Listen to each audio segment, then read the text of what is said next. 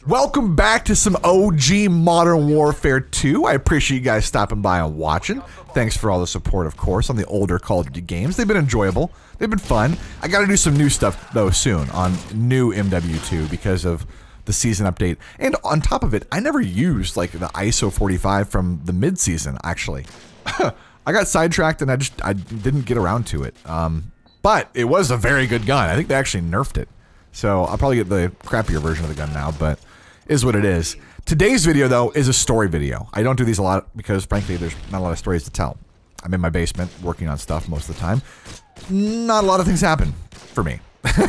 in terms of like, oh, check out this crazy story. You know, I was skydiving. Like, no. it's like, oh, I walked to the fridge today. I got a water. it was awesome. I dropped it. Oh, shit. So, not a lot of stories. But I do take trips. Trips for work, trips for fishing, usually uh, my non-work stuff. But this was a work trip. All right, when Modern Warfare 19, this is a couple years ago now, right? At this point, three years ago, was being released. They sent me, well, they, they brought me and like 50 other people probably out to come play the game early and offer feedback. Some of which, of course, was ignored, some of which was listened to. I'm sorry. I had to say that. It's always annoys me when you see a bunch of changes in the game and you're like, dude, why didn't they do this? I told them this.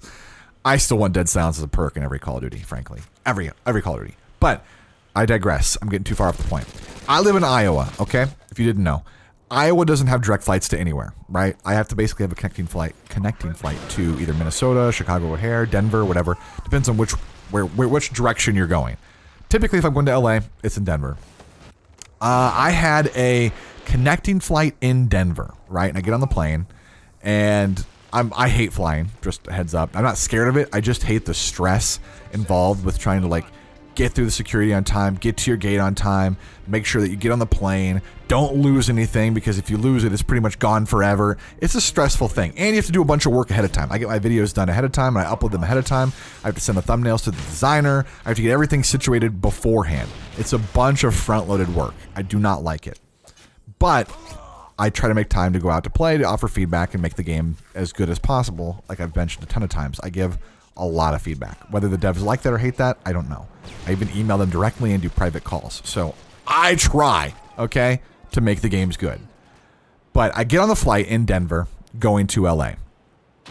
And after like, you know, five, ten minutes, people getting on, who gets on and sits right next to me. Not right next to me, I guess, across from me in the aisle. I was an aisle seat, he was an aisle seat. It was freaking Drift0r. I was like, oh, dude, what's up, man? How you been? I haven't seen you forever. And then, you know, we start talking on the flight and talking about what we're going to in the event. And at this point, we all knew it was Modern Warfare 19, right? The game's been announced and what we'd like to see, what we'd expect. And it goes back to the the last Modern Warfare game, right? Which was Modern Warfare 3 and 2. And we had talked about Modern Warfare 3 and how SITREP Pro and Recon Pro ruined the game a bit. And we got to Modern Warfare 2, and, you know, the common complaints of Modern Warfare 2 came up. One man army, noob tube, uh, explosives in general, a lot of things. And he goes, you know, they actually had a fix for like all of that. I was like, what? So yeah, they had like a huge patch they were working on, and it was it was in the pipeline, I guess, and it ended up being abandoned because they had to focus on, I think, probably, to, to be honest, probably the future games, which happens a lot. Um, and I was like, holy shit, they never did any of it and this is going to come around to more recent as well in a second. You're going to know why. All right. So they had a fix for one man army, not giving you extra noob tubes or extra lethals or anything like that, which is kind of how scavenger and stuff works now. Uh, they had a fix for explosives by making blast shield better. I believe because blast shield wasn't that useful if you use danger close. I think maybe they didn't improve blast shield; they just nerfed danger close. That was probably what they did. They, they brought danger close down. So if you wore blast shield, which you could because it actually fit your tactical slot in Modern Warfare 2, it's not an extra perk. It's like a stun grenade. You just activate it. It would help you live through explosives, which would have been great for a lot of you guys, I'm sure. Many people. There were not a lot of updates in the original Modern Warfare 2, though. There weren't. They were very stingy with updating the game and balancing things. You saw a nerf to, I think, the Rangers, the Model 1887s, you saw. Let me see what else. There was one more thing. They, they had okay. They had two fixes actually as well for Care Package Commando Pro. I remember that being a huge problem. They fixed it. Uh, you could basically super lunge people like a, it was like a Halo sword lunge. It was so far away. And then there was also a javelin glitch in the game. which was kind of like it was like a recent game that had the javelin glitch too. I think you basically could like preload a javelin, and when you would do that, if someone shot you, the javelin would go straight down into the ground where you died. Except, you know, if you have danger close on and that happens, the javelin basically kills anybody that could ever be within range of shooting you, which was the main problem. You had basically people just running around suicide bombing other people with a javelin because they would shoot them, the javelin would shoot straight down, and that person would blow up and kill like two or three people. They fixed that as well. Those are like the only updates I ever remember happening in Modern Warfare 2. Along with like DLC, I think they had some DLC maps, but in terms of balance changes, they were pretty stingy back then. So the game could have been what all of you guys wanted it to be, surprisingly, and the patch never happened. And funny enough, this happened again in Call of Duty Cold War. Okay, not I won't say that because Cold War is nowhere near as good as Modern Warfare 2, but Cold War had a lot of updates in the works that never happened during the game's life cycle. It's why you saw some maps release post post game's life cycle, right? Uh, because they were being worked on beforehand. And often the developers are working on stuff way ahead of what you would expect. I'll tell you more in a minute about that, but uh, they had, this is because I guess they released a new map for Cold War like five or six months after the new game had already released, which is Modern Warfare 2. Is it Modern Warfare 2? No. Cold War, World War 2 is Vanguard.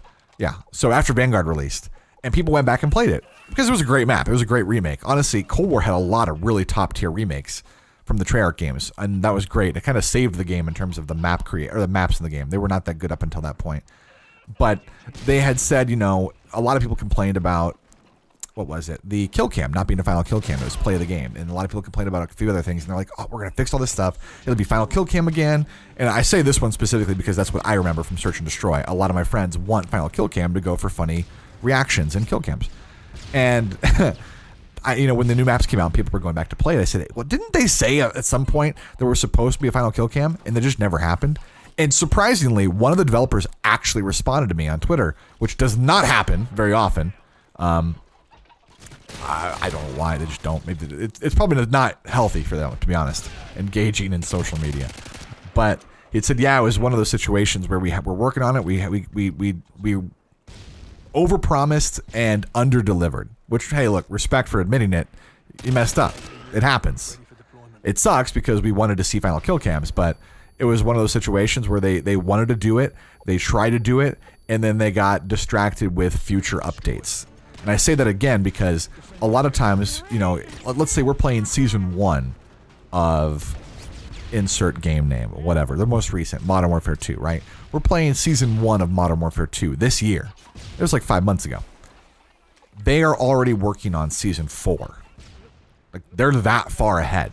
And so they release these updates and these patches and these weapon tuning and changes. And it's not always the same team. Don't get me wrong. They have plenty of teams. It's not like defending them or anything. But they are working so far ahead that when there's major issues that come up with past updates, which can easily happen randomly, even though it doesn't seem like it, then they have to instantly double back and it creates, you know, a lot of extra work for them and then that kind of puts them behind on the future stuff as well. So, you know, they put an update out season 1, like mid-season update of season 1 while they're working on season 4 and a bunch of bugs or things happen that cause major stability issues or major problems with balancing or you know it could be any one of fire like number of fire drills and now they have to spend like scramble to fix those things while still trying to maintain their lead of working on season four and, and, the, and the, the, the future seasons. And every time that happens those bugs take up more of their time and they lose their lead. That's just kind of how it works. Like the lead starts off strong right? And then they kind of stagnate because they have to catch up and catch up, catch up, and it starts to move, and then they kind of get, you know, they kind of get behind. They don't have enough developers, despite that. That you know, you might think they do, they don't. Um, it is what it is. It's just crazy because a lot of these games have, and that's only two that I know of, have enormous, enormous balance changes that you would never know about as a player or as a fan unless you were able to speak to the developers directly. And I mean, I got lucky that one responded to me on Twitter and told me about this stuff. The other time, I got lucky that Drift0r, who had been working with the developers for a lot longer than I had, had talked to the devs beforehand about the older games. there are still some original devs on their teams that have been playing, and working on that since those games. I should talk to them sometime about it and ask for some stories because they'd be cool, I'm sure, to hear about. But there are a lot of unknown updates in the games that you guys and myself have never heard of or seen that could have been massive improvements to the game. Or they could have been massively destroying the game. You never know. That sitrep change in Modern Warfare 3's life cycle was a huge surprise, and it came like five months into the game's life cycle. And all of a sudden made everything super sound whoring, and it was like, this is terrible. What, the, what happened? But there's your story video. The story of the updates, the patches, the big changes that never happened. Could have made the games insane, or in some cases, could have made some of them even worse. You never know. Like I said, I hope you enjoyed. Thanks for watching. If you did, leave a like, subscribe. If not, all good, understandable. Have a wonderful day.